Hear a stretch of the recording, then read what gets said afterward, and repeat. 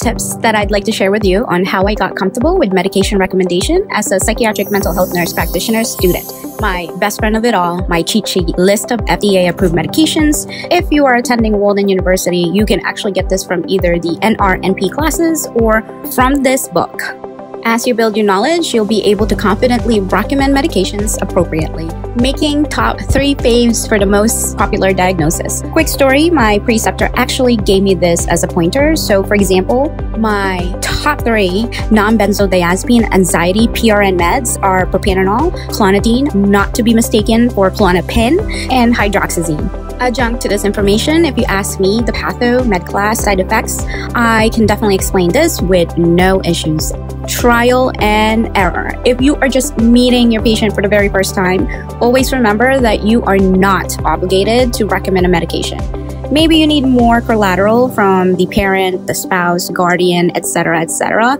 Know that it is okay to let them know that you can get back to them or you need more time to figure out what would be the best fit for them. Remember, if this is an intake, which is, you know, a new patient, it takes about 30 to about 45 minutes to do a full assessment slash admission questions.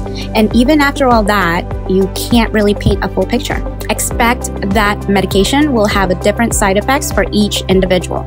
Think about it, Tylenol 500 milligrams may work for a headache for some, but definitely not for all. Don't stress too much when your assigned patient comes back and say, the meds didn't do anything. Aside from a regular education about the medication, honestly, I also let the patients know that it may take a few increase or decrease to find the right balance listening to your patient. I think the most important part of a medication recommendation, hear out your patients. What are they saying? Just because the book says it's okay doesn't mean it's okay for the patients, right? However, please make sure that you have the evidence based to support your reasoning.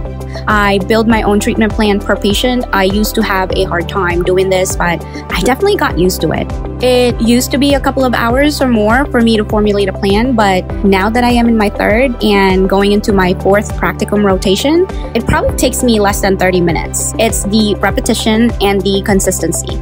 Note, I say recommendations for a reason because I am not a prescriber at this time. I am under my preceptor who is very supportive. If you think this video is helpful, please consider subscribing. Listen, always stay positive. I'll see you in the next video. Paalam!